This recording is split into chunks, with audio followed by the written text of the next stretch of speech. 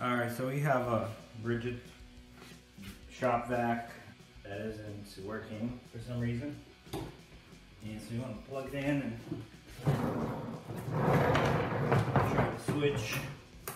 It's not working. So the first thing to do is to check, make sure the switch is not faulty.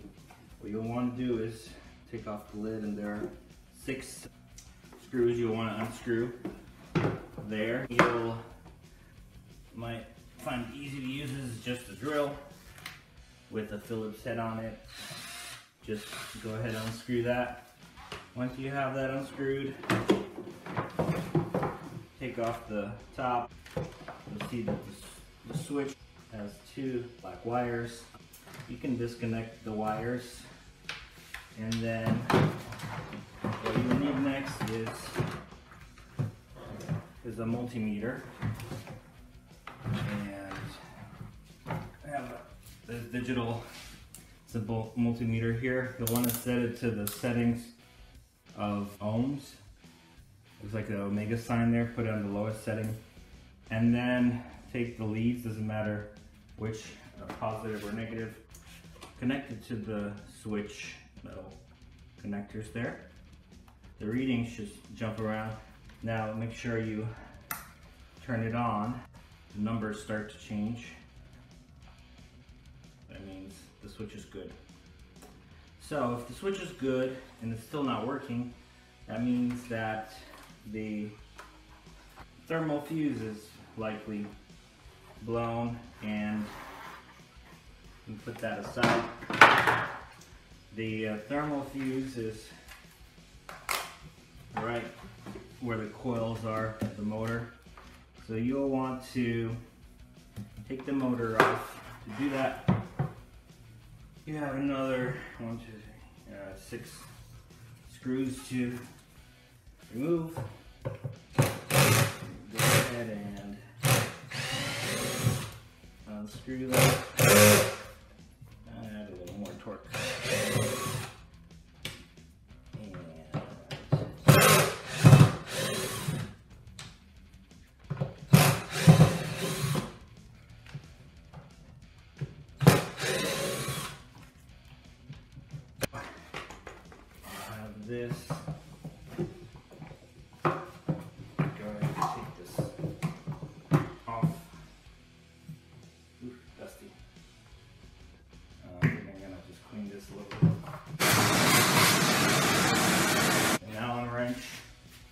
To hold this thing still. 13 millimeter wrench. You know, turn to the left, lefty loosey. And take this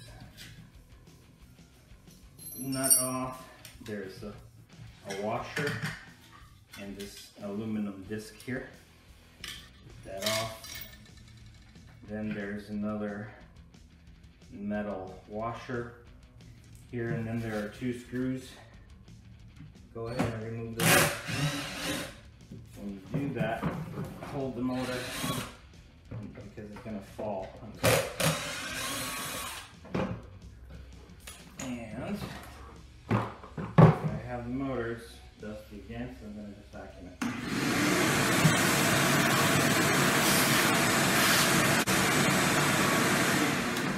Alright, now before you go too far in taking this thing apart, get a multimeter and put it on the lowest setting on the ohms, on the resistance, and then check.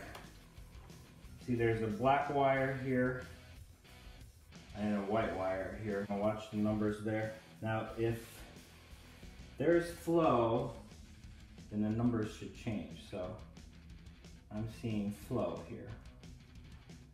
The white wire here, the other side, and I'm not seeing any flow with the white wire in the neutral. That means that there's a thermal fuse on this side of the terminal, the, the coils. So what we'll have to do is unscrew two screws. These are, there are two types of screws in this vacuum. These are the long ones. They're pretty much the same diameter. Take this apart. Just be careful getting this thing off. We got brushes here that squeeze from the side. The bottom comes off first. Alright. Now, got these brushes here. You can see the contact with the copper spinny thing. Alright, so now we look here and there is a cloth covering a wire. That piece of cloth is hiding the thermal fuse. So what we can do is expose the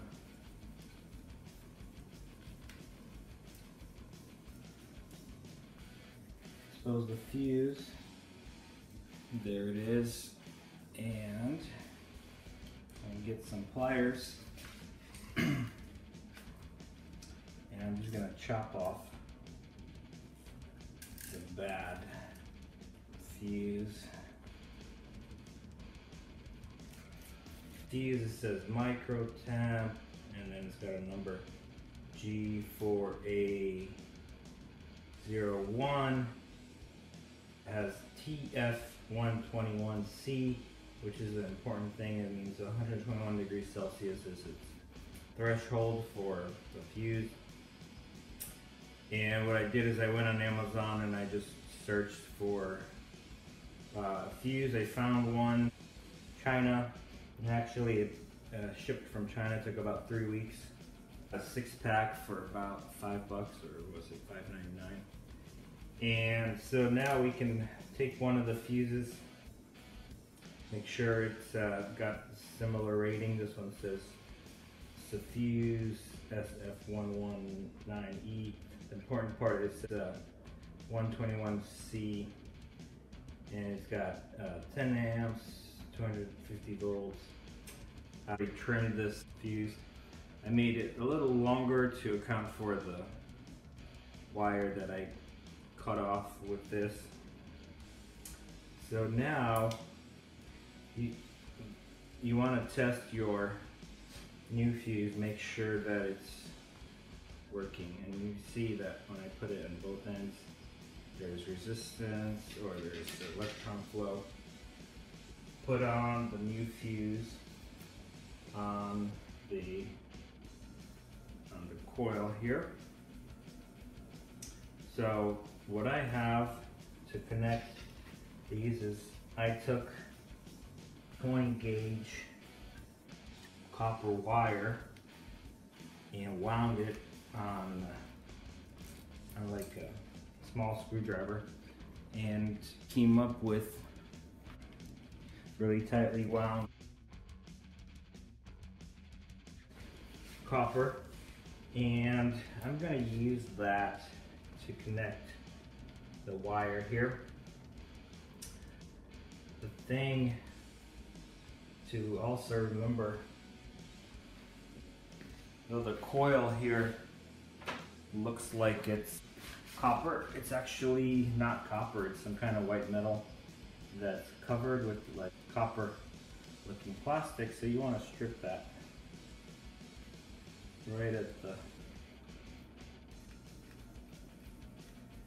edge there. So there's good contact. Think the wire exposed is white. And then I have my coiled copper there. Doesn't matter which way you put the thermal fuse. There is no plus, minus, or negative, positive end. It's all the same thing. All it does is allows electricity to flow. And if it reaches a certain temperature, it will basically the fuse and it will stop working like what happened here. I don't know if somebody just ran that for way too long or if there's temperature was hot in the room or whatever.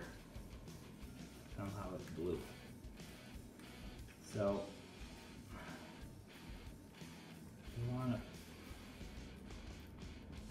put this in here. All right, and now before we put it all back together, we want to make sure that there's actual uh, electron flow from one terminal to the other. On this unit was on the white wire, the neutral side, but I don't think it always is that way. So here we see that there is electron flow. That's great. I'm just going to crimp my self-made connector here and make sure it's solid. I'm just got a good pair of pliers. And then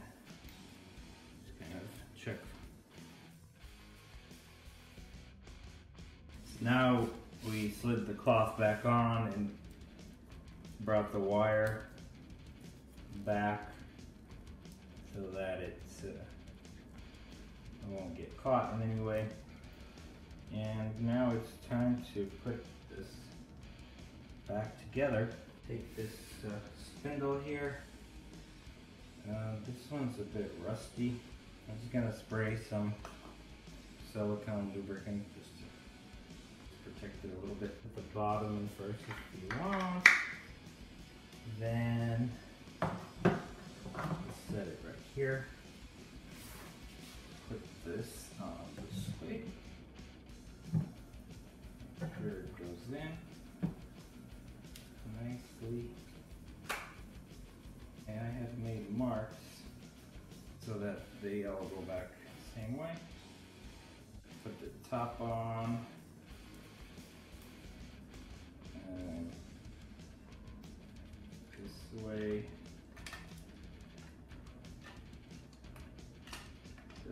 Putting this on, you're putting the top on, you have to pull these carbon brushes apart so that it can fit in, fit down all the way. Get our screws here. Actually, I think I'm gonna leave this at about five newton meters of torque.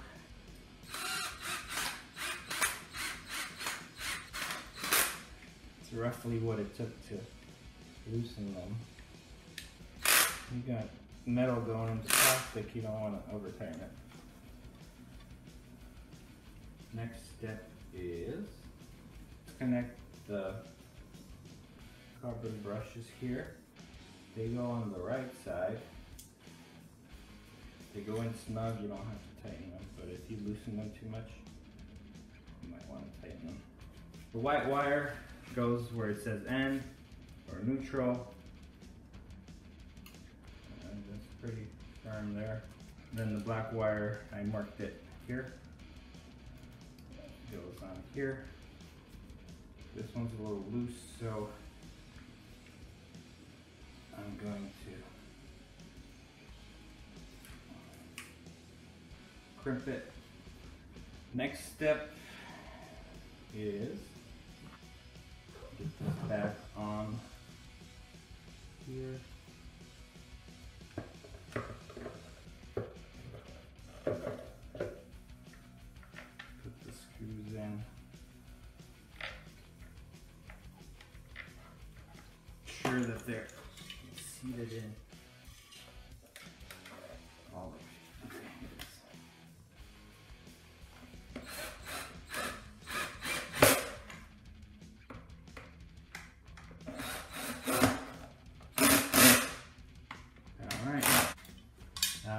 This washer here. Put that on here this way. This aluminum wheel on washer or 13 millimeter nut. So if you just kind of hold the aluminum disc,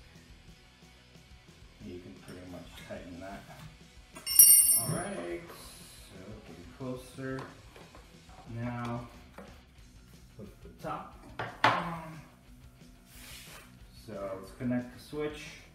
Doesn't matter where you put it. And even at this point, test it if you want before putting everything together and then finding out if something doesn't work. Just be careful. And there it is. We've got power. Put the top on, take the power cord, put it in that slot there, and make sure this wire is not too loose. Places to secure it there.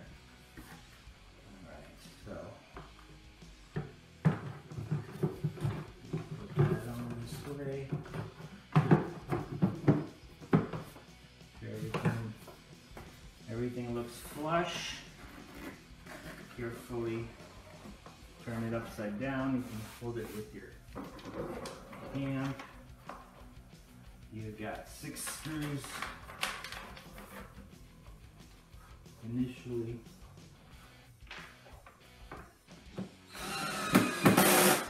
I, I like to go from one end to the other.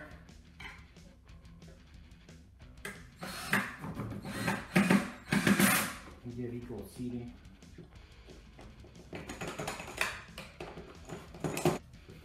Part.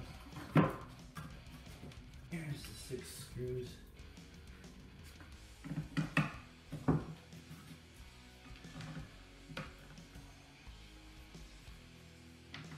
And we're almost back in business. The, the fuse you can buy probably at Radio Shack, or you can buy it like I did on Amazon. Came out to like dollar per fuse.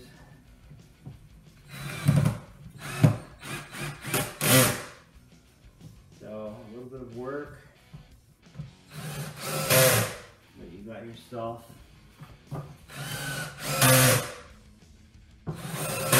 Fully functional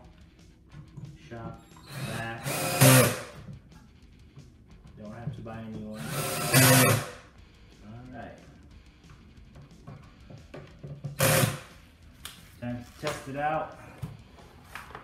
It all back together.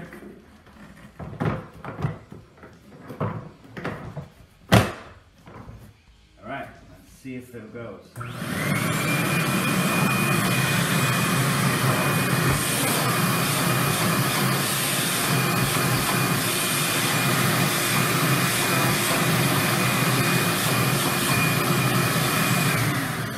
And that's all.